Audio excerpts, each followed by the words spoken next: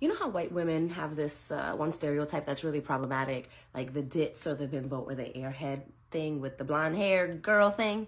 Well, Latinas have a similar one where we're often depicted in these stereotypes of being the party girl, the fun one, spicy, sexy, all these words that are used to really just portray us in sexualized ways. It requires that we not be intelligent, that we not have any intellectual contributions to conversations or just life.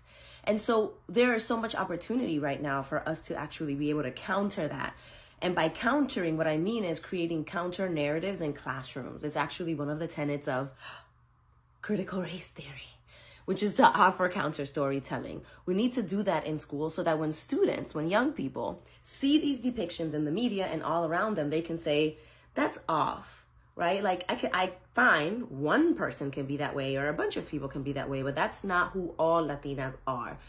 The classics, I'm sorry, don't do a good job of showing us at all. And when some of them do, they show us as maids or they show us as sexualized objects and beings. We are elements in the plot for the purpose of developing the main character or conflict.